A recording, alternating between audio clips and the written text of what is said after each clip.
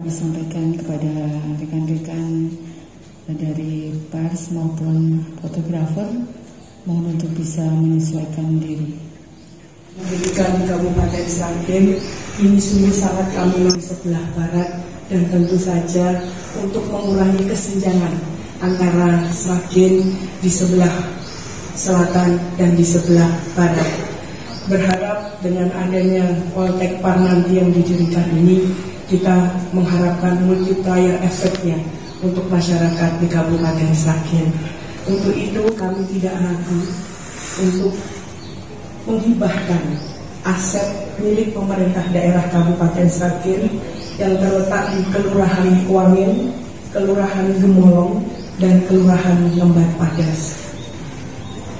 Seluas 201.875 meter persegi atau kurang lebihnya 20 hektar dengan nilai 4 miliar 508 juta 507 ribu 426.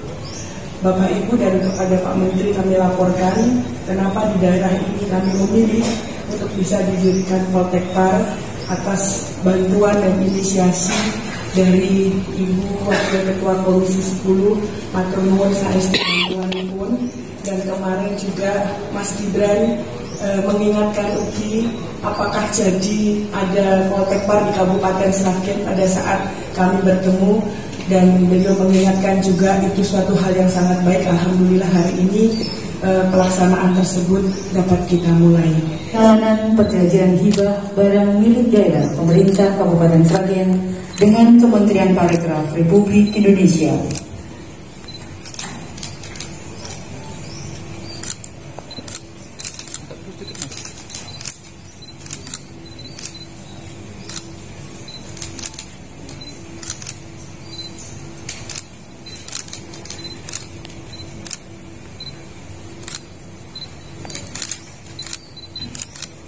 Dilanjutkan untuk sesi foto.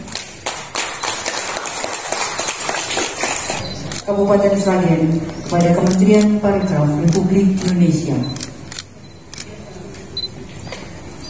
Penandatanganan dilaksanakan oleh Ibu Niwayan G. Adyani, Sekretaris Kementerian Parikraf, dan Bapak Tata Prabawanto, Sekda Sragen.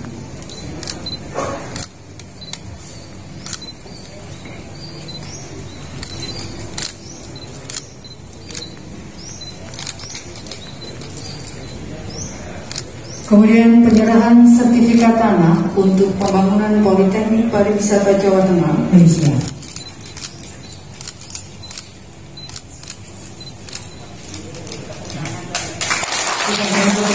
Alhamdulillah pelaksanaan keseluruhan penandatanganan perjanjian dan penyerahan sertifikat semuanya telah berjalan dengan lancar. Selanjutnya Wis balik. 15 Mei 2022 kami sangat bersyukur bahwa kami menandatangani bersama dengan pemerintah Kabupaten Sragen perjanjian hibah tanah antara Kemenparekraf dan Pemkap Sragen. Luas tanahnya 200.875 meter persegi atau lebih dari 20 hektar. Ini adalah cikal bakal untuk pembangunan kampus Politeknik Pariwisata Negeri Poltekpar Jawa Tengah. Prosesnya insya Allah kita akan mulai hari ini dan beberapa tahun ke depan kita akan rencanakan investasi mencapai 400 miliar rupiah. Dan hari ini saya sangat berbahagia Ibu Bupati lengkap dengan Forkopimda, ada Pak Dandim, ada Pak Kapolres dan Ibu Kajari menjadi ini sebuah kolaborasi yang sangat apik di tengah-tengah pandemi. Kita melihat bagaimana giat antara unsur pemerintah pusat dan pemerintah daerah menghadirkan SDM yang berkualitas dan juga karena Poltekpa memiliki track record yaitu menciptakan lapangan kerja bagi para mahasiswanya oleh karena itu ini adalah suatu langkah yang tepat sasaran, tepat manfaat dan tepat waktu.